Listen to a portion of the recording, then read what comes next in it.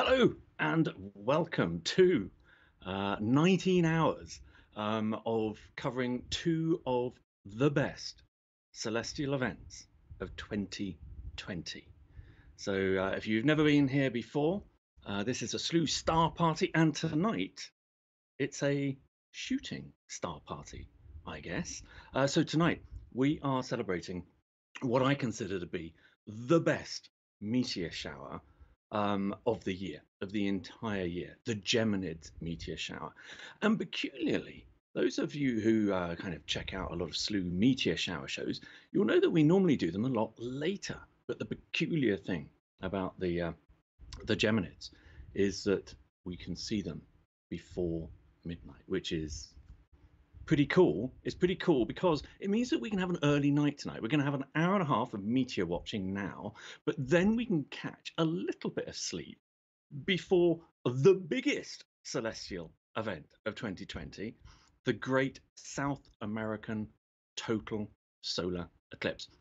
Now that is tomorrow, Monday. That's 9:30 a.m. Eastern Time, uh, 2:30 p.m. GMT. Um, so that is certainly one not to be missed. This one, what we're seeing here um, is a huge swathe of the night sky. Now, what you'll what you'll notice here, Mike, you can you can tell us because you know this when you go to a, one of the world's best observatory sites, which is the Canary Islands. Um, the stars don't twinkle. Why not? So this is a live video feed. It's not a static image. It's a live video feed. Why aren't the stars twinkling like they do when if I go out to my own backyard?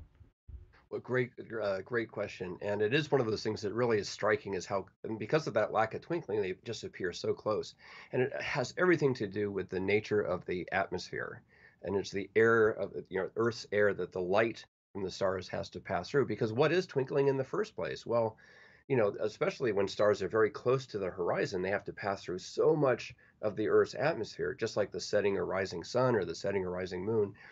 And as they pass through the Earth's atmosphere, the uh, the different layers of the Earth's atmosphere cause the there's a beautiful shot of Orion uh, causes oh, yeah. the um, light from the stars to disperse and to separate into their different colors, basically just like a water droplet with a rainbow. And um, you know that twinkling, especially with a bright star like Sirius, which is of course is a, the, one of the bright is the brightest star, is this and was visible I think a moment ago, is um is just is magnificent. Oh, did you see that? Okay, Nailed it. It was worth waiting for. There, there you go. go. I hope someone was snapping for that one. That was a keeper. Wow. Yeah, it was. Goodness me. Uh, yeah, sorry, Mike. Um, that oh, that uh, is yeah. one of the problems with meteor showers when they are in full flow on one of our star parties that you'll lose your train of thought because something like that happens. Um, I'm going to ask you um, about the color of that in a second. So, uh, yes. uh, but carry on. Carry on. Yeah, yeah, saying. no, it was. Uh, it's just like that. Uh, there's a movie where there's a squirrel type of a distraction, and but you know the twinkling. So the reason that so the observatories are generally placed at high altitudes. You know, ten thousand feet, let's say, uh, mm. 3,000 meters, 4,000 meters, something like that. And the reason for that is just to get above the Earth's atmosphere. And anytime we've been to a high altitude and a, a mountain, maybe a ski, or there's uh, some sort of a high altitude event, you can look down and you can see how hazy everything is below you. And that's great for astronomy because you don't have to look through all that haze uh, as you're uh, as you're um, as you're uh, as you're doing your observing. So the that haze is what really causes the twinkling that Paul was asking about. And so, what at an observatory, you don't want that. You want everything to be very still and stable as best you can. And that's why uh, observatories tend to be at very high altitudes, or even in space where there's zero twinkling, yep. because of course there's no atmosphere. Now, Mike, uh, the region. Oh, it's just saw a little one down. Oh, and another. That was two Missed down it. at the bottom. Oh, I just saw. There we go. Yeah, I just saw one. Wow. Now oh. I was I was just about to say, um, I was I was about to orientate us in the sky here, but they've done it for us. Because what we were saying at the beginning is Geminids and all meteor showers, they all appear to come from the same point in the sky, the radiant. And your photo showed that beautifully, your composite photo. So those were two um, Geminids. Our other in our other shot, the big one. So what we've got here, I can just see at the top of this screen, that is the Orion Nebula. So we've got the constellation of Orion. So that smudgy patch that viewers can see right at the top of the screen is the Great Orion Nebula. Looks absolutely fabulous through uh, telescopes. And as you say, we've got Sirius there, bright star, and that means that uh, the constellation of Gemini is off up to the right, isn't it? Um, Yep. of it's it's kind of when you're looking up at the sky, you see Orion. It's to above and to the left of Orion, probably by about the same distance as Orion. Would you say? Uh, the hmm same size? hmm Would you agree with? Yeah, it's about it's uh, it's a yeah maybe a little well I, I, they're about the same size because they're both about 25 30 degrees in uh in dimension. Right. Okay. So um so let's keep our eyes peeled on this. So this is still from La Palma. Um come on, I want to see I want I want to see another I want to see a, I want to see another meteor, please. So uh I know okay, it's so one of these things. It's just like uh, it, it it never gets old because every time you see one of these, it's just an incredible thing. I mean, think about it. What we just saw a minute ago is just one of these little. Uh, this was a, a particle from space. This is mm, from outside of the Earth. This is from uh, the you know sort of beyond the solar it's the solar system, and a little oh, bit beyond. little And this is a part of the the universe that just arrived on Earth permanently, and it just that, just that fact alone is just constantly amazing to me. And that little speck, we've already said, comes off this asteroid 3200 Phaethon. And where does it come from? I mean, this is as old, that little speck that just vaporized in our atmosphere is hmm as old as our solar system, isn't it, Mike? hmm Sure. Yeah, this So is where a does where does where does the asteroid come from? Well, so when you think about the, uh, this is just such a, we have got to be careful, Paul, because we're going to go off on so many different tangents that open up. But so when you think about the solar system uh, forming uh, from the you know protoplanetary disk, when the you have the sun and the and the planets and the whole thing collapse into this uh, planar set of uh, masses that are rotating in, in orbit around the around the sun, back in the day, people sort of thought that was a the, the unit, that was the, the the system, the solar system, and then it was embedded in all of the rest of space. And you know, once the Hubble Space Telescope went up, and uh, people started realizing that there are, you know, this is the story of this. I forgot to go down the story of uh, Pluto and stuff, but the, the the point of it is that there's a there's a, a sort of an outer disk of material called the Kuiper Belt, and then that's embedded within this giant Oort cloud of material. And it's one of the things that has been so fascinating in recent decades is the discovery of all these objects in the Kuiper Belt and in the the Oort cloud. So the uh, Phaethon is uh, as a Kuiper Belt um, asteroid, and it's it it has a fairly short period, and actually quite a short period. And there's a lot of different um, you know comets and asteroids that are like that. And you know it's as as you mentioned, this is a a potentially hazardous object uh, in the sense that it's, uh, it's its its path clearly intersects Earth, and so you can imagine if you ran the tape, there'd be some point in the future when Earth and Phaethon are at the same place at the same time. But fortunately for us, uh, it's not, and so we happen to be passing through its uh, debris field when it's conveniently somewhere else. So that's a good thing for us. But um, yeah, it's a really interesting thing when you start thinking about the ways that what we see in the night sky are all connected through these uh, different mechanisms that actually make sense when you understand them. And it's, you know, when I was a kid growing up, I saw shooting stars and I thought, okay, that's kind of odd that a star would shoot as it shot through the atmosphere. But then you realize it's not a star, it's a little piece of dust from an asteroid that's from the Kuiper Belt. And it all just goes together magnificently. So, what a beautiful image of this. You can see. Uh, as you say, the stars of uh, Orion. You can see the uh, Great Orion Nebula and some other details in there. So, so many things to see here. Yep, so And by the way, this is a that meteor that we saw a moment ago. It was quite a, a fortuitous event because the region of the sky we're looking at is not a particularly wide region of the sky by astronomical standards. It's a very wide Yeah. field, but if you're standing and looking at the sky, it's a relatively small fraction of it. So the, the fact that we got that one meteor already through this relatively small fraction is quite good luck.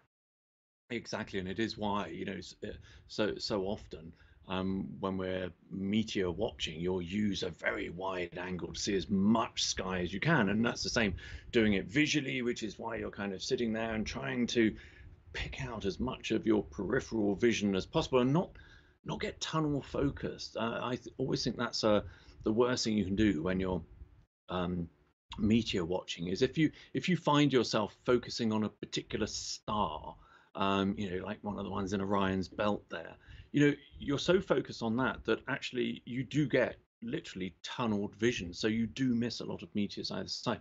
But the meteor that we saw, so this is from uh, the island of Tenerife. So this is uh, from the Institute of Astrophysics of the Canary Islands, which is where uh, Slooh's flagship observatory is located, where all of our huge telescopes are. Oh, by the way, we've got a gift card out at the moment.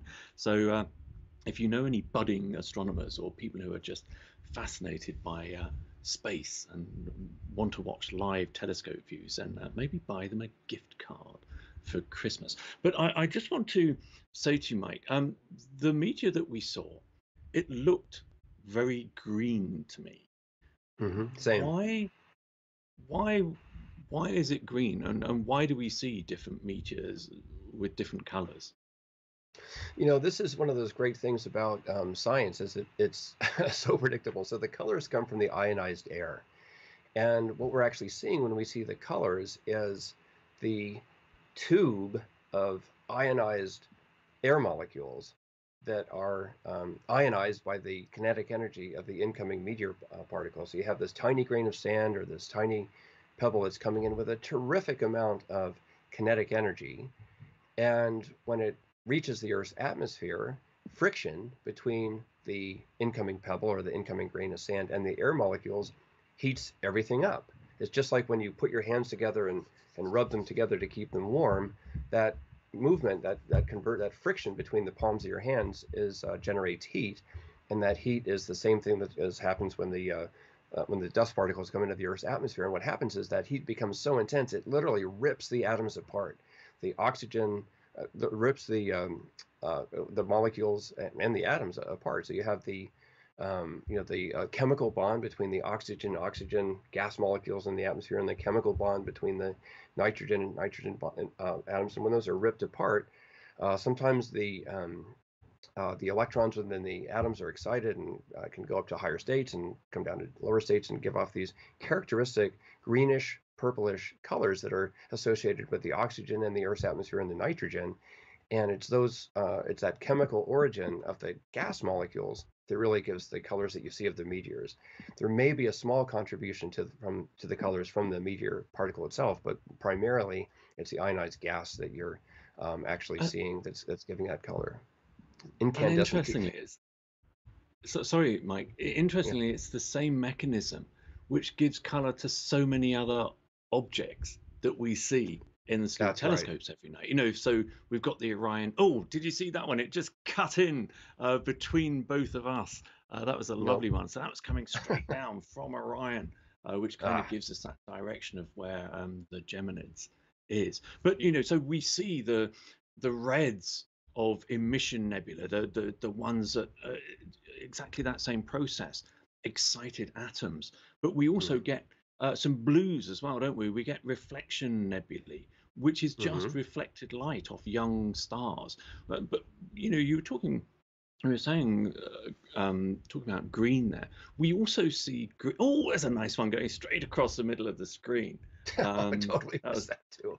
I've got it. Oh, you missed out. Come on. I told you, Mike. I told you. Don't look away. Just you've got to stay oh, pinned on the screen, which is unfortunate for our viewers because it means we're not kind of looking in our cameras. We're looking at our monitors, though do excuse the uh, the kind of offset eye line. Uh, but we we see um, some of these colours in comets as well, don't we? And we, we covered a couple of um, comet shows uh, with beautiful green comet comas, the head of the the comas. Is that the same process that's going on there? Exactly the same thing. And there's, uh, you know, there, there, well, actually, there you also have um, there is a, a component from uh, carbon, carbon, and carbon nitrogen bond. So there is, uh, and it, it, due to the nature of the CO2 and the um, the other uh, uh, carbonaceous materials in the comet head.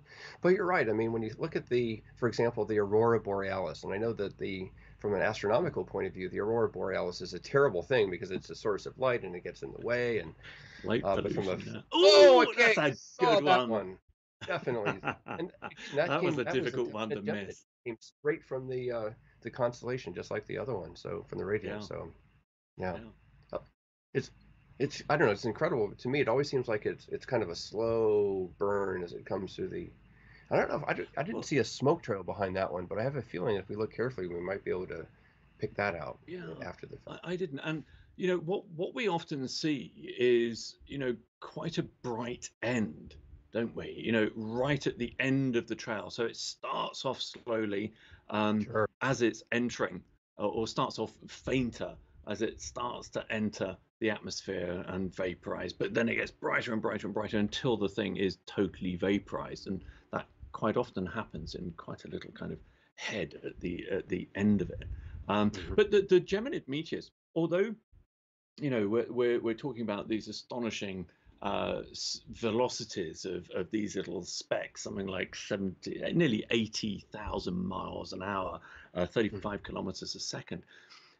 Geminid meteors, when we when we see them, are actually a little bit slower than some of the other meteors that we see, and we don't tend to get huge fireballs. That one that we saw earlier, you know, looked very big because we are in this zoomed in view. But the the Geminids are often a a lot smaller and a lot slower, aren't they, Mike? Yeah, and I think that's just um, you know I, I can't remember with it's uh, you know sometimes the Earth is coming into the meteor into the uh, debris field and there's a relative uh, velocity component. I can't quite remember which way it is for the uh, Geminids, but certainly there's some. Um, I think the Perseids we're going straight in, so we have a head-on collision where both of us are moving at around 35,000 miles an hour or something like that. That adds up to these terrific speeds. Now, actually, that, that's that's an interesting one because when people are watching, uh, observing uh, the meteor shower from their own backyard, one of the problems when you do look towards the radiant, so if you were to look towards the constellation of Gemini tonight and the two bright stars that mark it, the twins, Postra and Calyx, um, Pollux and Castor, sorry, um, they, if you look towards there, the meteors that you see in that region are very, very short because they are entering Earth's atmosphere almost directly onto us. The hmm further away they are, um, the, the, the, the longer the trains. And we've got a we've got a question here actually, Mike, which uh, you can possibly answer. This is from uh, Sonali uh, Deshmukh as well. What is an Earth grazer? So Ooh, I've I've heard this expression before. This Earth grazing meteor. What's one of those, and what causes it? Great question. So, hi, Sonali. A great question. Uh, thanks for asking that. So, an Earth grazer is um, uh, a meteor that goes through the very upper parts of the Earth's atmosphere and typically takes place when the radiant of the meteor shower is below the horizon or just below the horizon. So, the meteors are kind of coming up and they're just kind of grazing the top of the atmosphere. And because they're at such high altitudes, they tend to have a slower rate of um, you know, heating and incandescence. So they last for a very long time, and you know they are some of the most uh, spectacular meteors to Yeah. see because um, of those facts. They can go almost across the entire sky. They take a very long time, and they happen at the beginning stages of uh, meteor showers when the radiance is below the horizon. Not so likely for tonight with the Geminis because we've been, as as uh, as you Mm. know, they um, the, the, the evening begins with the radiant above the horizon. So the Geminis is not typically characterized by a lot of uh, of uh, Earth grazers, but certainly, for example, the the Perseids in August, it's a great opportunity to see those because the radiant rises over the course of the evening. That's a great I have question. to say, I have to say the Perseids is is actually one of my favourite um, showers, and that's because in the UK, you know, I've got cloud tonight. I can't see the uh, the Geminids other than the live feeds here, which is uh, thankfully uh, giving me my Clear. my my my feast of uh, my feast of Geminids for this year. But you know, the the Perseids happen, you know, on you know during the summer when it's you know weather's normally quite good in the UK. It's comfortable. You can go out. You can watch them. You don't get cold. Well, you still have to wrap up a bit more. Um, but my best ever, I'm going to ask you, I, I need you to start thinking about your own best meteor shower experience uh, after I tell you mine, Mike. And mine was when I was working at the uh, Canary Islands Observatory, installing a new telescope for Slooh. And I was on my last night at the observatory uh, working, which is always an absolutely packed night. And I had my head down. I was desperately wanting to look up and, and you know, watch the meteor shower. But what kind of brought that whole night alive was people are not allowed, the general public are not allowed at the observatory, but there are some perimeter roads up there, up on the volcano. And it was just thronged with with people, holiday makers and people who live on the island of Tenerife, all came up. And there were hundreds, there were probably thousands of people up there. And even though I had my head down in the dome, working hard, um, I knew exactly the size and the moment of a meteor because this eruption of sound, of whooping, of cheers and wow sounds, you know, just emanated around what is normally the, the quietest place on Earth at night. The only thing you can normally hear is when the telescopes slew when they move from one target to another. Uh, but what about you, Mike? Have you got uh, a meteor shower moment that kind of sticks in your mind? Uh, oh, there was one just on the right hand side there. That Oh, was a, I a think one. I saw that one. Yeah, Yeah. just up. So it's a you know we all have these uh, these memories of, of great stories, and I'm sure some of the people watching tonight will have their own experiences um, uh, yet to yet, yet to develop, yet to occur. Uh, but for me, it was uh, very similar. It was back I think around 2010 uh, during the Perseid meteor shower. and I um, backpacked into um, a Thousand Island Lake in the Ansel Adams Wilderness. Uh, it's in the uh, it's up in the High Sierra in California. I spent about a week up there, uh, just by myself. Uh, camped, uh, did a lot of stargazing, just enjoyed nature. You know, backpacking. It's just so many things to enjoy out there.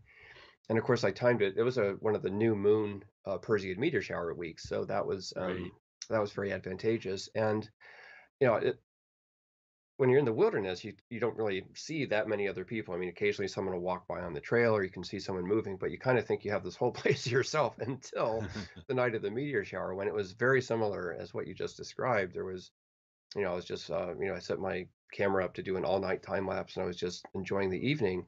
And all of a sudden, every time a meteor would go by, you'd hear the whole uh, like a ring around this lake. You'd hear the whole place kind of erupt in people, you know, cheering and like, "Whoa, did you see that?" And I was like, "Wait a minute, who are all these people? Where are they, you know, coming from?" These voices from the darkness. But it was a very community experience, kind of like what you know Slooh does. Is like we're all right now gathered around the, you know, the the telescopes, looking into the night skies, sharing this. Oh, there was Oh, there's a nice one going straight across the middle. Yeah. Lovely yeah. So Right. Yeah, it's I think just the the community aspect of astronomy is just what's especially great because you know you could, the universe can seem Yeah. like a cold, empty place, but it really isn't when you think of all the people around the world right now. Oh, there's And another one. another. Look at that. Lovely. And we can see that they're all coming from the same direction. And that's exactly what people need to watch for um, if they're out in their own backyards. But Mike, if they if we were to see a meteor now, oh, there's another one and another one. That was two within oh, a couple of seconds. My goodness. Yeah. Um, so we need to see as much of the sky as possible if if we can. Um, if we were to see a meteor coming from the top right down to the bottom left, Mike, Mhm. is that a Geminid meteor? And if it's not, how do we know? well, it would it would is not be that would be what we would call a sporadic uh, meteor, and that those just happen, you know, a couple three times an hour every night you're outside. There's just, I mean, the Mm. Earth's moving through space, and there's another one, I think. Um, and so, uh, like Paul said, I mean, the the constant, the radiant of uh, the Geminid meteor shower is where the uh, it says looks like ORM La Palma, uh, just above that, out of the field of view. And so everything going from top left to lower right is going to be a Geminid, especially if it's a long duration uh, meteor, because that's the uh, those are the ones that are coming out of the radiant. But in contrast, if something was coming from the top right to the lower left, that's at 90 degrees. To the, so it's not coming from the, the radiant of the Geminids, and uh, we would just call that a sporadic. And we'd be very happy to see it. So, um, you know, it's uh, that's one of the great things about being outside under dark skies is that you can pretty reliably see um, sporadic meteors. You know, like I say, probably two or three times an hour on pretty much every given night. So this is one of the best meteor showers of the year. Um, one of the things I mentioned at the top of the show, which you, you may not have heard about, is is the kind of conditions that people should look for.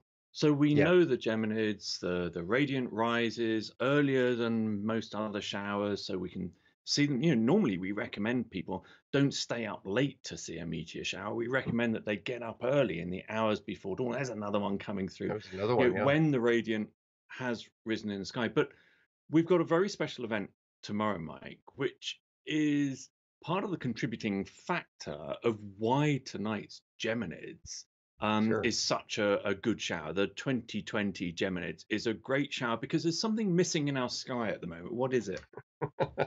That's what's going to be the moon, of course. And so, what are the, as you say, tomorrow, uh, the moon, well, right now, even as we speak in this moment, the moon is, is very close. It appears to be very close um, in the sky as the as the sun. So, if we were to, and of course, the sun is below the horizon, so the moon is also below the horizon because it's very close. Uh, oh, there's another one. Uh, this is a good this is a good shower, and so uh, tomorrow though, as uh, in the early morning hours, um, and a very particular well anywhere on earth really but the moon is going to pass uh essentially but- well in the path of totality is going to pass exactly right in front of the sun and so we're going to have a total solar eclipse uh the new moon there's another another. one but it's this is a good meteor your shower. point And another. I know it's like watching popcorn pop in a minute. It's like they're start like firing off, but it's basically the, the best conditions are like this, where every really every you know two or three years when the we have a new moon, or at least the moon is below the horizon for an appreciable portion of the night, the moonlight doesn't cause the air in the Earth's atmosphere to glow, and because the air is oh Oh, there's another one is not glowing, we're able to see the stars. Uh, in their maximum uh, intensity, especially the dimmer stars and the dimmer meteors for that matter.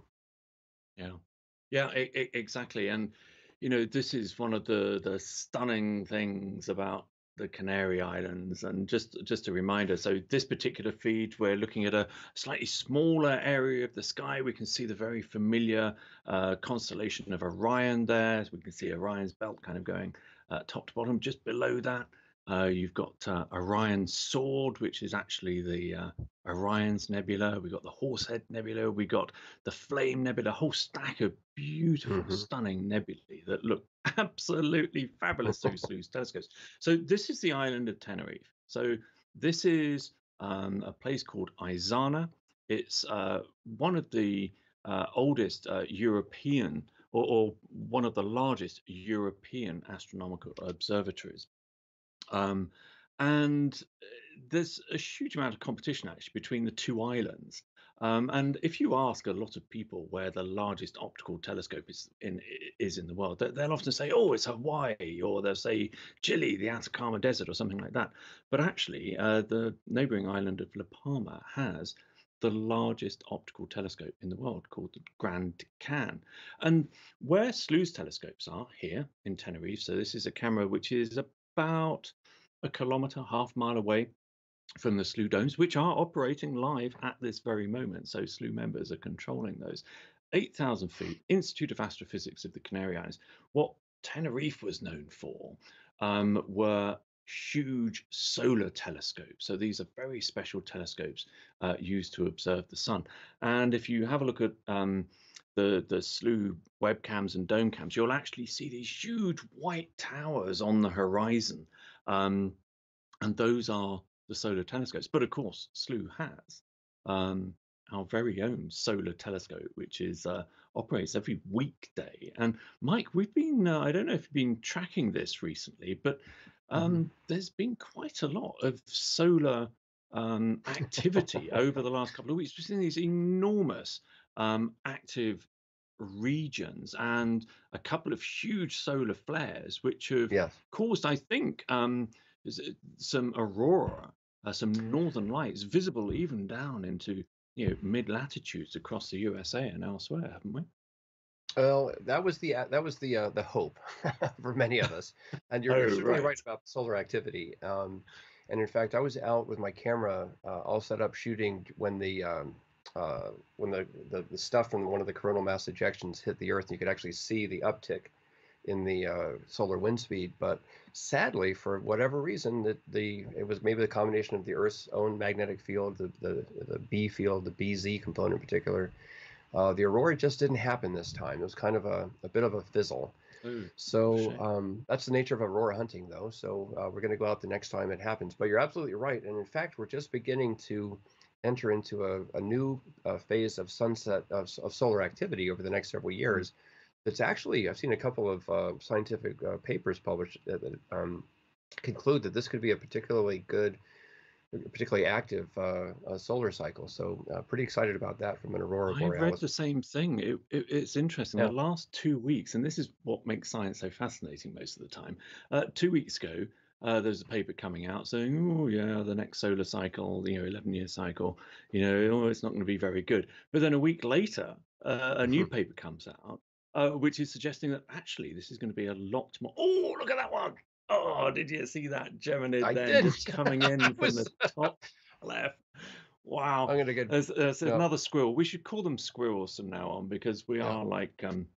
okay. oh, Saw that. and there was one down in the bottom right as well. So, Yep. um, wow, this is you know we've done some and a little one uh, that just came straight down. But if you notice, they're all pointing back to that place that Mike and I have been talking about, that radiant in the constellation of uh, Gemini. It's quite easy to spot, isn't it? The constellation of Gemini, Mike. It's it's you, you don't see much of the constellation, but the two brightest stars, Castor and Pollux, are, are Yeah. quite easy to spot, aren't they? They're they're kind of, as I say, to the left and above um, Orion. Just carry on following Orion over. Oh, definitely. And then if you, I mean, it's not hard to imagine when you look at the constellation of Gemini, the twins, that there are two, uh, you know, figures that extend downward from the, from there. And it's also fascinating is, I mean, that's right next to Orion, who's another person.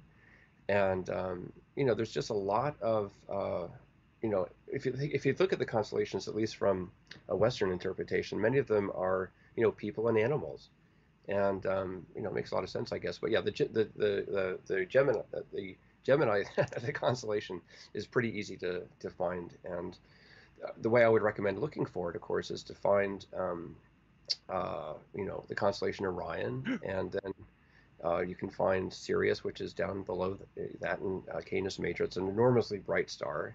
Then you have Pro. Which oh, is, I think, another what we're saying on the uh, right-hand side, actually, That's in right. this in this particular view. That's Yeah, you've got Sirius Sirius there. and then Procyon to the left. And then uh, just, oh, in fact, I think you can Another- see Castor and Pollux, can't you? They're straddling the words up there. quite quite possible. I'd have to check on. I think they're further up than that, aren't they? Oh, a little one coming down. Um, so I mean, basically, if if we did uh, do your bit of photometry, uh, so, sorry, your photographic trickery, and Mhm. we uh, aligned all of these images with all of the meteors that we're seeing, it would point directly above um, Oh, those those two stars. So uh, Yeah, it Um, would be a fun project actually to uh, take the feed here because the, the the the trickery is really to just um, you have to kind of rotate the images uh, to you know to account for the Earth's movement, and we've been only watching for a relatively short period of time. So that while there has been some movement, there's not been an enormous amount of it. So um, this would be an interesting project to um, to do. So that came down from what looked like a slightly different direction to me. So I think the one that we just saw there, that kind of came from the the top of the the middle of the top of the screen down. So I think that was what we call a sporadic meteor, um, Mm. which are you know the the the normal small flecks of dust and debris that the Earth moves through every night. Th- These um these tunnels, uh, these streams of, of debris, Mike, um, they're not very dense at all, are they? You know, and Sure. I, I think the, the particles are spread out by vast distances, yet we see this number of meters because, of course, the Earth is speeding through uh, the Mhm. solar system at, at, an enormous speed. So we're covering quite a lot of space tonight, aren't we? Yeah, I mean it's it's just an incredible thing when you think about because you know on Earth we have our own you know sense a set a range of human perception what we see what we hear our how fast we move on the freeway and so forth. And you know, the, the universe has these colossal ranges that are almost impossible to comprehend. And you know, one of the courses I would teach back in the day is called the hidden universe, and it was basically the the the the, the universe that we can't perceive, but yet is out there, and it's you know. Um, scales of, of, of, mass, scales of distance, and scales of energy.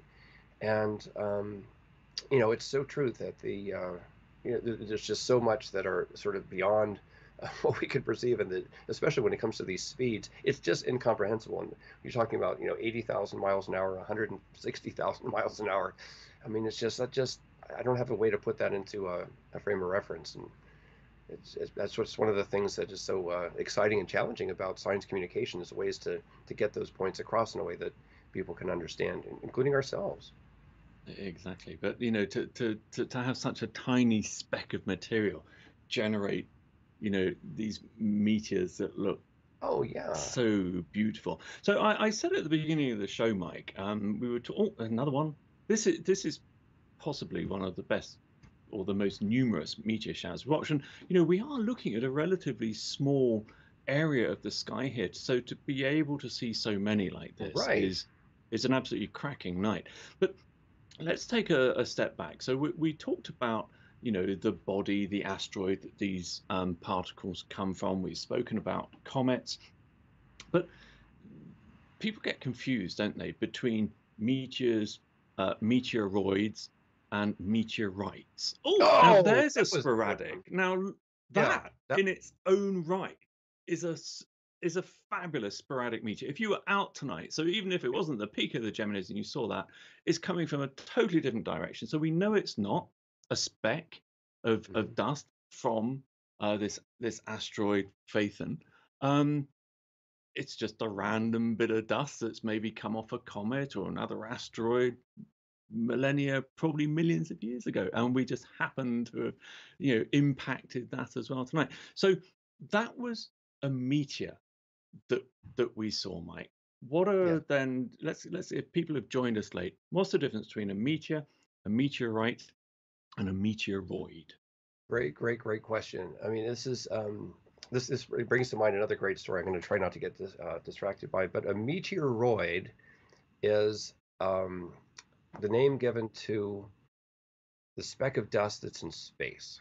So, in fact, yeah. if you think about the debris field left behind uh, by the comets or by the asteroids, you can think of those as meteoroid streams. So, in, in my mm-hmm. ways, they're kind of like embryonic meteors because they're meteors that haven't hatched yet.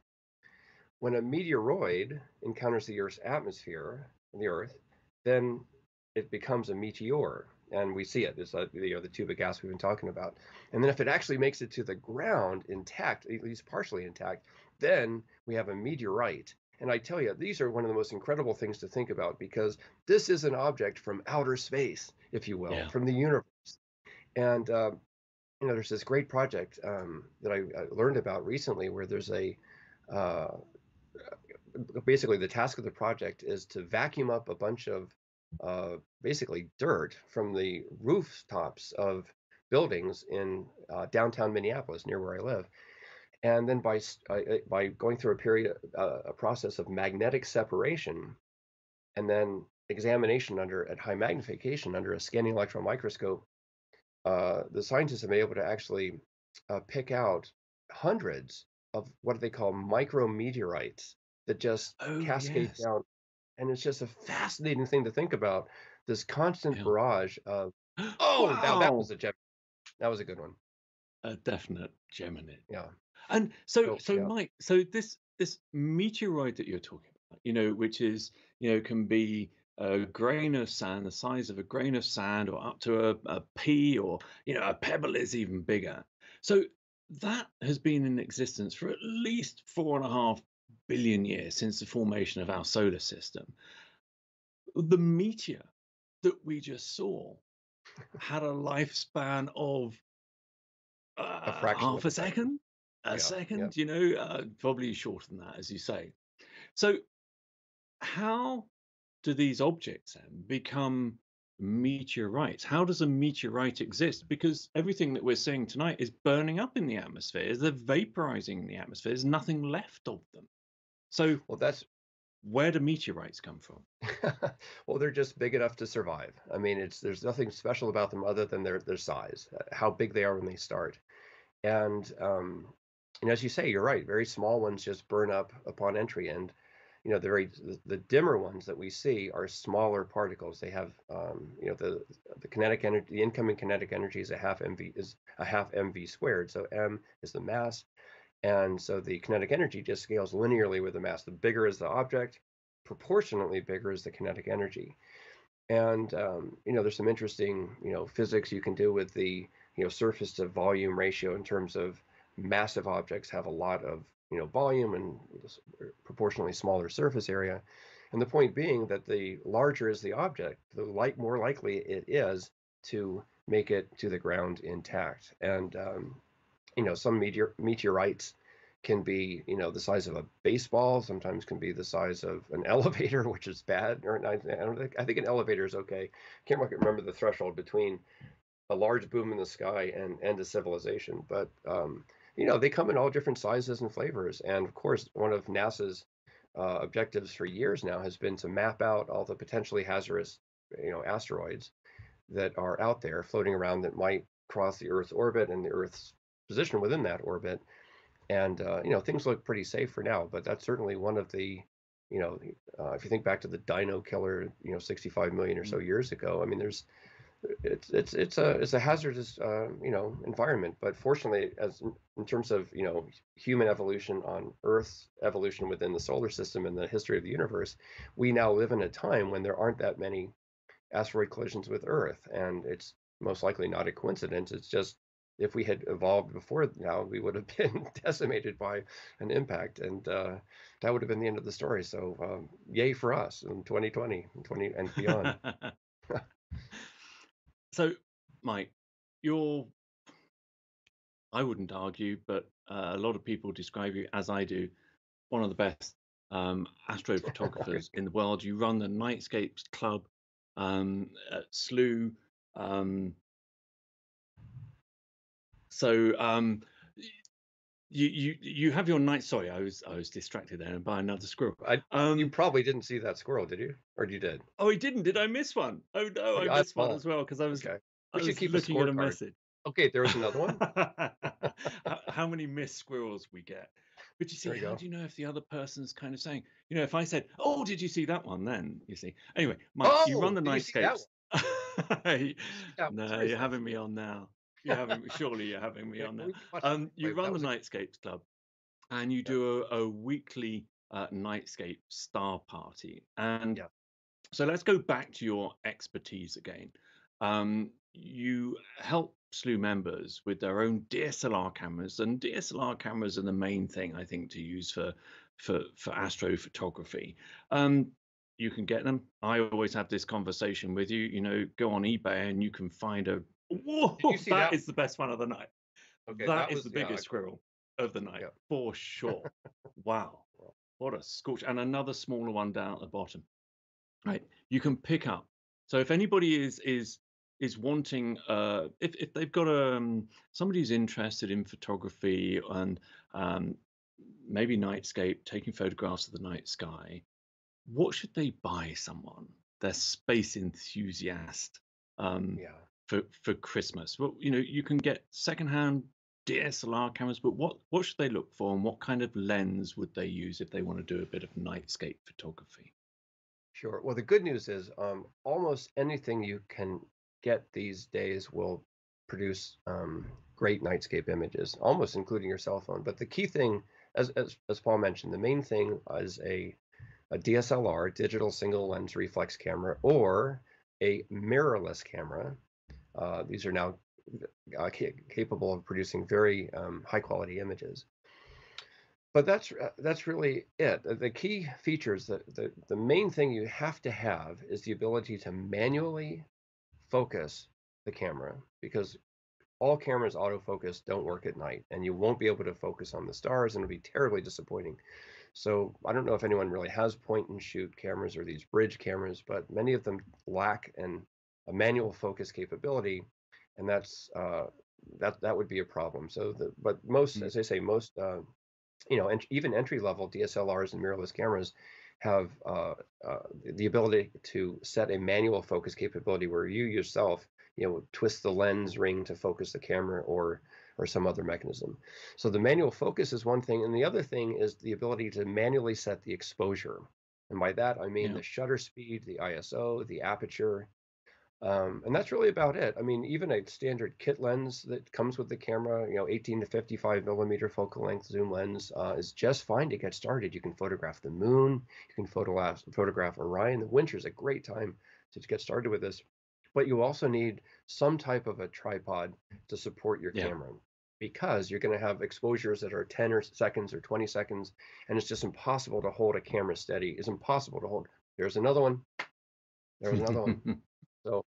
So, DSLR tripod, and then also the last thing would be a, a headlight that has a red bulb. There's another one. Does that? Does someone just replay that? Because that looked awfully familiar. I think Oh, that I'm- one I'm was a replay. Yes, I'm being told by the studio that one is a replay. Yes, we've got replay down in the bottom left-hand corner. Thank Oh, you, we go. studio. We did Yeah. not notice uh, that uh, that word down there. Thank you very much. Okay. Um, you see, this is this is us getting tunnel vision. We're looking for new meteors, and we didn't see the uh, the word down at the bottom left hand side. Thank you for that, studio. That's, uh, that was good. So, you know, Yeah. what kind of cost are you talking about? You know, because uh, when you buy a DSLR camera now, you get what's called a kit lens with it, as you mentioned. Um, so you basically get everything you need in that package.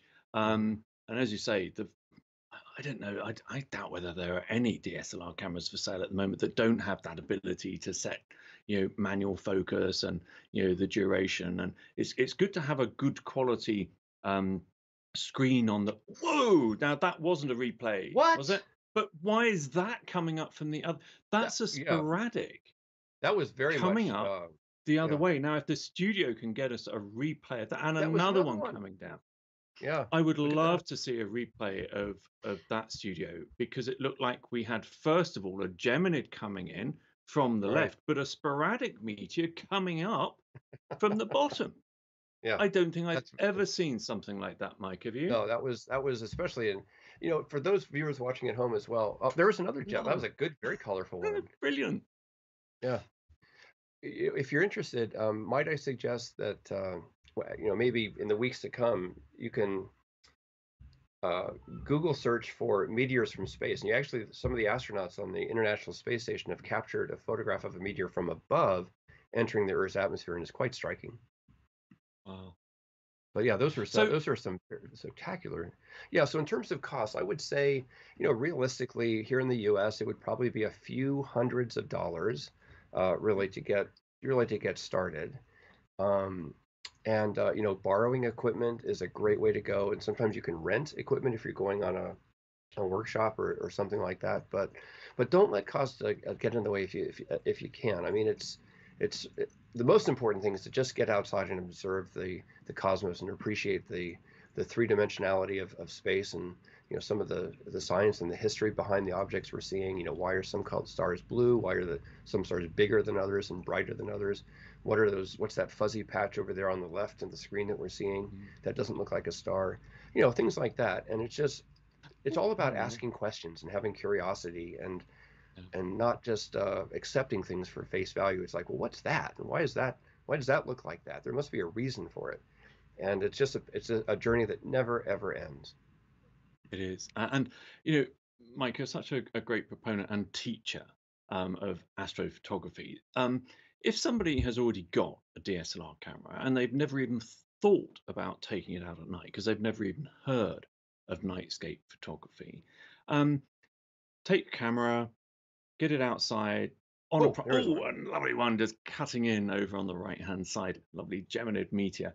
Um, what are the basic settings they should use? They should have their their lens on quite a wide field view, shouldn't? Oh, we've got a a, a Okay. replay coming up, so we keep an eye on that. Oh, look at that coming across, Amazing. beautiful. Um, basic basic settings people should try tonight if they've already got a DSLR camera.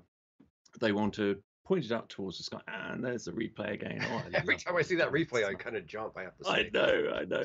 So, what what are the basic settings they should look for? All right, so the, there's kind of a golden uh, combination of ISO, aperture, and shutter speed. Uh, for the ISO, I would recommend an ISO of 3200, a shutter speed of 10 seconds or 15 or 10 to 20 seconds. And then the aperture, I would just give it the smallest f number that you have. So uh, as wide open as you can be. So it, I might be an uh, f-stop of f4.5, f3.5, f2.8, but just not f8 or f11 or f16. Those are two, those those aren't uh, favorable for night photography. So I'd go for f3.5, f you know, 4, f2.8, something like that. And it really depends on where you are. If you're in a, a bright city location, uh, I think I saw another, that was another sporadic. Um, Ooh, if you're in a bright city location, of course, the, those settings I just described are going to give an image that's much too bright. So you might want to reduce the ISO, reduce the mm. shutter speed. But if you're in a dark location like we are here in La Palma, then I would say certainly uh, the perfect settings here would be an ISO of 6400 to 12800 with a shutter speed of 10 to 20 seconds and an aperture of f2.8 or 3.5 somewhere in there mm. and it's it's very dependent if it's very uh, dependent on your particular location and the uh, if the moon's in the sky then of course it's you might want to reduce the iso but but that, that should get you started 3200 iso f you know 3.5 and a 10 second shutter speed or a 20 second shutter speed. That's great. and then of course you know um once once you've kind of got to grips with that and see the results and it's always best to to look at the results on your screen inside probably so you don't ruin your dark adaptation when your eyes get used to uh, to looking at the night sky outside. Um, you can then start with some of the artistry mike which is what you do. So you know you you start you know, this is a beautiful view, isn't it, of the night sky we've got here, but we've got very little context. We can see the edge of one of the telescopes down at the bottom. Um, it's a big ra- um, radio telescope there. But you need some context, don't you, when you're doing nightscape photography? You know, in the same way as you compose any photograph. So, what should where what would you recommend? You know, a, a budding nightscape photographer do after they've uh, got to grips with the basics. Oh, buy this book. and that's no, by somebody I, totally unrelated to you, is it, Mike? yeah, no. There's, um, there's. I've written a couple of books on on this type of thing, but the key thing really is. Mm. Uh, when Paul talks about when Paul and I talk about nightscape photography, what we're really talking about is landscape photography done at night. So if you mm. think of some really interesting foreground object like you know a mountain or a city skyline perhaps or a lake or the observatory that you can see down here coupled with the night sky what's neat is that gives you kind of a terrestrial framework to appreciate what you're seeing in a sense of scale if you could see a palm tree here for example you have a sense of how big a, a, a palm tree is and you can say okay well that must mean that's what i'm looking at with the the night sky mm-hmm. and you know it's quite a popular um, uh, it's, it's, quite a popular area. And like you know, if you want to join us on our Nightscapes Club on Slooh each Wednesday, uh, Wednesday afternoon, Wednesday evening, Ooh. sometimes when. that was another good one. Uh, we have a great uh, community of people from all over the world who join us and contribute and participate. It's a very active group on Slooh, and we have a great time uh, sharing our passion for astronomy and for photography and where it lies in between. So um, yeah. You know, it's really just a. It's it's like anything else. It's a it's a uh, it's a journey that just just keeps on giving.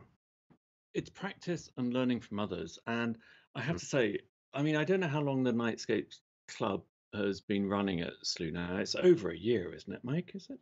Oh yeah, we started about uh, about a year and a half. Uh, about okay, a year, so, almost. I think coming up in two years in June or May. What's been wonderful to watch is um, groups of Slooh members who didn't have a camera, but they joined the club because they loved your work. They loved looking at you know uh, the work of uh, the photographs of, of other Slooh members. Um, but then a, a, couple of them bought their own cameras.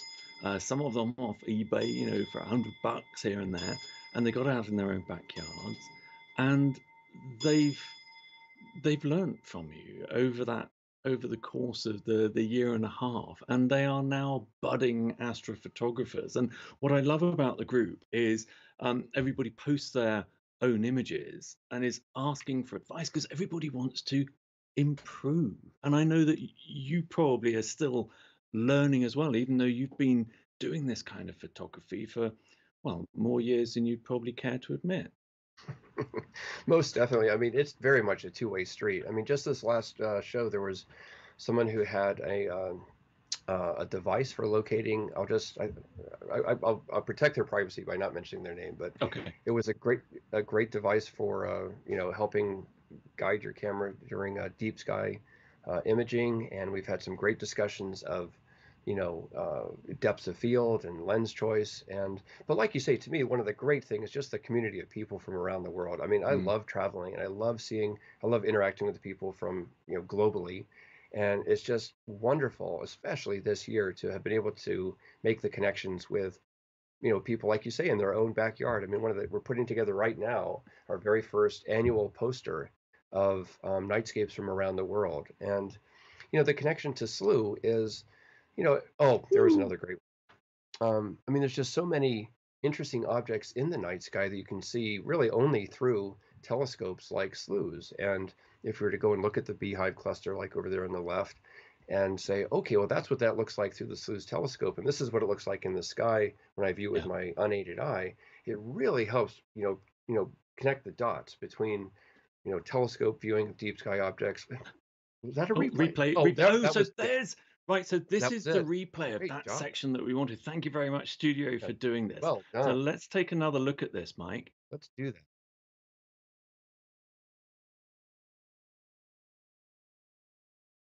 Here it comes. So there's Geminid. There was another Geminid Ah, at the top, and that is a yeah, sporadic. That is no aberration. That is, I don't think that I've was a real ever seen Yep. that. I mean, and they were they were large meteors as well. They were not kind of tiny little meteors, but for them to almost go in opposite directions, what a lovely thing to see. There's one there, one at the top, and there's the sporadic coming that's from the opposite direction. You know, the fact that it's actually show. heading to- in totally the the opposite direction towards the radiant. Um, so that's a that's a special one for sure. So yeah, uh, it's it's amazing, isn't it? Because like perfectly parallel. Yeah yeah. Yeah. the- I- at first I thought ah it must be a you know some kind of some kind of aberration in the in the telescope, but they they're not identical. So there's no reflection thing going on or some strange thing. They were independent meteors. Here we are back in Tenerife, which is probably a, a good place for us to start finishing up here, Mike. So this is not the kind of view that Slooh members watch every night. You were talking about our community. We have this global community of members all sharing the same sky and all controlling um, our telescopes uh, at the Canary Islands Observatory. That's Slooh's flagship observatory at the Institute of Astrophysics of the Canary Islands. But we've also got that shows us great views of the Northern Hemisphere skies. But we also have our Chile Observatory, which is also online right at this very moment. I do believe. Um, I'm not going to look because I'm going to miss a miss a meteor. But we can also see the southern hemisphere gems. And Mike, I don't know if you've got this on your phone, but uh, I have a little kind of app thing on my phone that shows me photographs or images that I took a year ago. And two nights ago, um, up popped. This is what I was doing this time last year. And it was my last night down at our Chile Observatory at the Catholic University uh, Observatory outside of Santiago. Another one there. Look, Another they're one. coming thick and fast still. Um, and it was my last night of a three week visit down there where I installed a new telescope, the I Chile remember 2 that. telescope. Yeah, it's a 17 inch telescope. Uh, that's over 400 millimeters in diameter. It's revolutionized what Slooh members can do imaging the southern hemisphere, hasn't it? Yeah, I know you've you've been Absolutely using a lot I of mean, those shots. Yeah. Yeah, it looks like Hubble What? Space Telescope, you know, which is honestly, it's just incredible how uh, the detail and the resolution and the um, dynamic range are just um, spectacular. Yeah, it's, it's it's an absolutely smashing setup down there. Now, Mike, we've got uh, while we carry on watching for some last meteors here, we've got some fairly special events coming up here at Slooh, which are going to run a lot lot smoother uh, than uh, the beginning of this one did tonight. So apologies to uh, to to viewers, but if you've stuck it out this far, you have been rewarded with a whole host of uh, Geminid meteors. But tomorrow we're coming back, and another one. Goodness me. I think Oh this yeah. is the most number of meteors we've seen during a Slooh meteor shower star party. I think it's Yeah. absolutely fabulous and it's really indicative. If if people can see this in their own backyards, you know, they're in for a, you know, because you'll see far more when you're looking with your own eyes. You can see more of the sky than we're looking at here. But tomorrow, Mike, we've got to me what is to me the the best celestial event um, of the year. What are we going to be watching together tomorrow? Well, I'm really looking forward to this. This is a, a real honor to be part of this one, but this is um, the total solar eclipse that's going to take place in South America. And, uh, you know, I know a couple, I know at least one person who is uh, traveling down there to observe it in, in themselves. But this is just one of those events that's not to be missed. Um, Yep. and it's just one of those weird coincidences of nature that the, you know, as the moon passes directly in front of the sun, they're exactly the same, at least for the middle part of this one, they're exactly the same diameter. And uh, the effects that are produced by that are just phenomenal. You know, just, and I'll leave it at that. But yeah, it's, it's one Yeah. of those things not to be missed. Um, Yep. So sure. uh, that is uh, tomorrow. That's uh, 2:30 p.m. GMT, which is 9:30 a.m. Eastern time. And then, you know, there's a there's a fascinating diagram actually, Mike, that we're going to show tomorrow um, about where the path of totality is going, because it's going right over the southern tip of Chile and Argentina um, which is a very small amount of land mass for. Um, so this is where you can see the the total solar eclipse from. Um, but you you see this diagram that we've got, and the Earth is really tilted up, and that's because we're only a few days, a week away actually from um, the December solstice. So December solstice is when the the Earth's southern hemisphere is tilted most towards the sun, and another meteor there. So we've got a show coming up. This is going to be a fascinating show. I'm I hope I'm hoping you're going to um, commit to coming to this one, uh, to to at least view it, Mike. It's uh, the still sun celebrating the solstice, and we're celebrating the moment of solstice because a lot of people think solstice is a day, but there's actually a moment Oh, it's a of moment. Yeah. solstice when the sun is at a standstill in the sky. That one starts at 5:30 a.m. your time uh, or Eastern time. Are you going to be up and around for that one?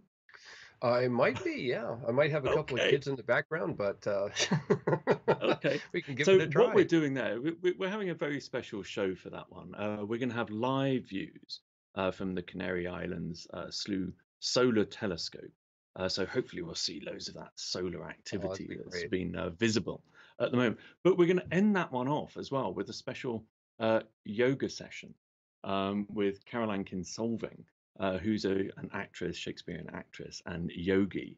Um, and uh, she's going to take us through a lovely little relaxing yoga session at the uh, at the end of that star That's party, which is going to be okay, it's uh, be yes, really I'll be cool. there for that. Uh, now, now, Okay, now, so- now I'm, I'm in. I'm in. Okay, so I, I, I suspect I might get into a position that I might not be able to extricate myself from, which is going to be really important because you're then joining us for a show later on uh, that day, which is at 2 p.m. Eastern, that's 7 p.m. GMT, and it's the Great Conjunction. Now, I am really looking forward to this.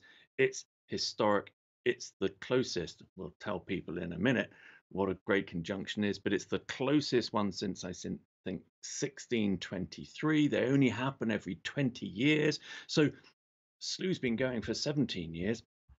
We've never seen a great conjunction.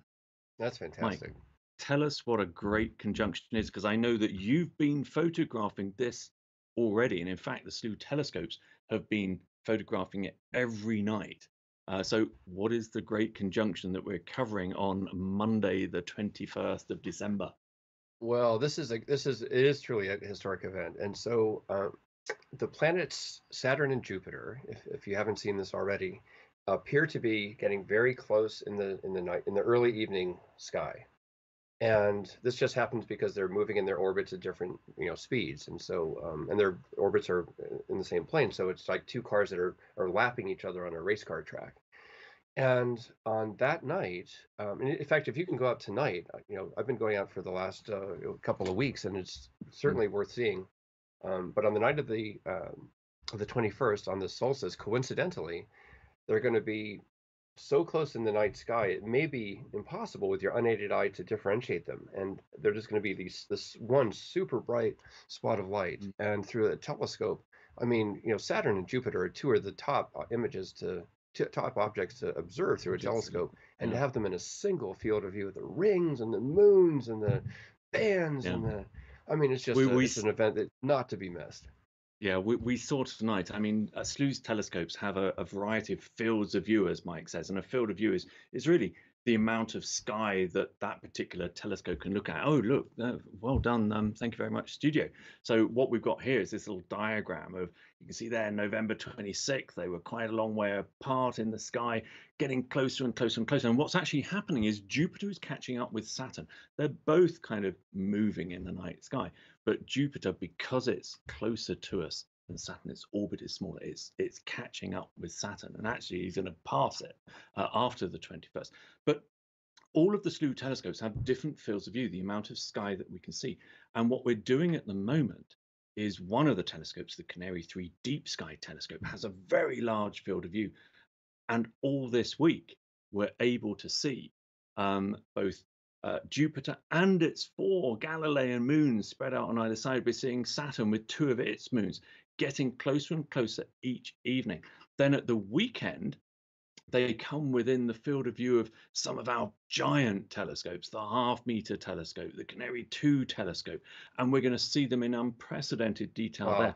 But but then on Sunday, Monday, and Tuesday, we're going to see them in glorious close up because they come within the small field of view of what we call the Canary 4 Solar System telescope. So this this telescope is designed to capture the planets and small objects like planetary nebulae and stars, just small objects basically.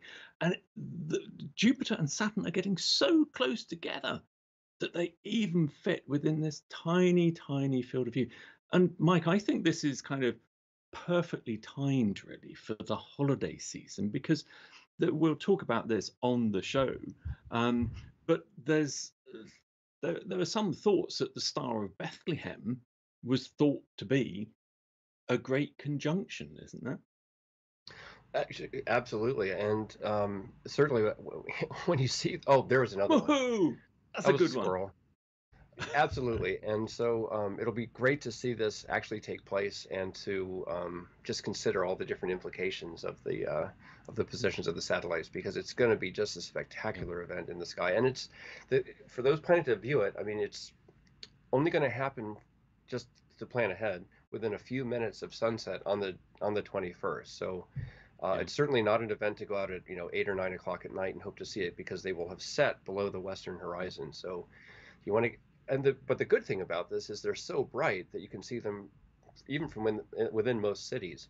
And so this is not a difficult object to see. You just have to have clear skies right after sunset or within an hour or so after sunset. Yeah, exactly. And, and even we're going to be limited even on um, our star party length. Uh, we, we've only got them for 30 minutes before they start setting right. below the horizon. But uh, uh, we have also got, by the way, on uh, the Great South American Total Solar Eclipse Star Party tomorrow, uh, Monday, uh, we've got some rather special news um, for you. Um, there's only one total solar eclipse in 2021, which is in December.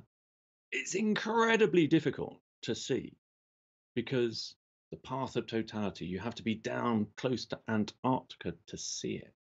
Mm-hmm. But tomorrow we've got some uh, details of how anyone can join the Slooh Total Solar Eclipse Antarctica expedition, a 20 day polar wow. odyssey down there. All right, there, that's the first Mike's heard of that one. You see, it's an absolute exclusive. Um, but uh, Slooh members can join us uh, on a Slooh expedition. We did something similar a few years ago for the transcontinental USA eclipse. Uh, and it was just wonderful. As Mike said, you know, having a community uh, together, you know, having a virtual community is absolutely wonderful. But having that odd occasion when you can all get together in person to witness one of these absolutely extraordinary and, and life changing for a lot of people uh, celestial events, it's going to be uh, it's going to be a good one. So uh, I'll talk That to you about that, uh, Mike. Uh, uh, that's maybe amazing. uh, maybe tomorrow, but it's going to be an absolutely fabulous trip. Uh, so anyway, Mike, I think we should round up tonight. Have you got anything uh, anything you'd like to uh, say to viewers before we uh, we round up? No, I mean, it is. I, thanks again for joining us, and especially for your patience at the outset. But this is really one of those great events that, uh, you know, we're all in this together. And, um, you know, just uh, if you can share this with somebody who might not have had a chance or, you know, thought to get outside and enjoy it, it's such a rewarding uh, thing. And it's Mm, certainly the sort of thing that sometimes people don't want, don't know what they don't know. And, you know, being that person in someone else's life where you can introduce them to a new a new outlet through Slooh or through just going outside yourself and looking. Uh, it's a it's a it's a lifelong journey and it just never ever ever ends. As you can see from tonight, I mean, Paul and I just touched on a few things that we're gonna, I'm sure, just continue to carry on discussing. But no, thanks so much for having me on. It's always a pleasure to be uh, part of these discussions, Paul. And uh, Well, thank you. congratulations on a wonderful night. Well, thank you very much, Mike, and thank you for uh, for managing to come on a little bit earlier and, and bailing me out. I was juggling a little bit there, but uh, viewers, uh, this is a great test for tomorrow in 14 hours time or thereabouts, 9:30 a.m. Eastern time, uh, 14:30 UTC. That's 2:30 p.m. GMT. Monday, the best celestial event of 2020, the Great South. Oh, and that's Saw a that. lovely little one to uh, to finish us off on the the Great South American Total Solar Eclipse. There is no other astronomical spectacle that comes anywhere close to totality when our moon totally obscures uh, the sun. Uh, now, I've got one last little thing to say to you all. Uh, if you have enjoyed this, or you know somebody else who would enjoy this, then don't forget um, you can join Slooh, um, but you can also hop over to Amazon and you can buy a gift card membership to Slooh, and that allows uh, your loved one to control Slooh's mighty telescopes. And we don't do many shows, my many public shows, um, where we show the live views um, from Slooh's telescopes, but you know, you see things like Omega Centauri, that lovely globular cluster, the Tarantula Nebula in the Chile telescopes, or the Orion Nebula in the Canary Islands telescopes. I mean, they still, after 17 years, the live views of those objects make my jaw drop. So if you have got somebody out there who's either just a budding space en- en- enthusiast, just loves the awe and wonder of looking up at the night sky,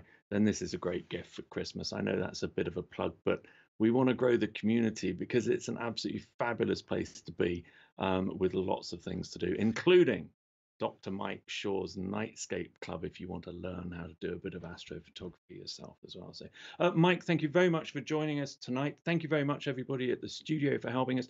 Thank you so much to uh, Skylive TV, uh, the Institute of Astrophysics at the Canary Islands, uh, for these wonderful feats. I mean, I don't think we've ever seen quite as many meteors in a single show, and we have seen some absolute corkers tonight. So, thanks to them, and thank you to all of you uh, for watching. We will hopefully see you tomorrow for our total solar eclipse coverage. Good night for now. Good night. Thank you, Paul.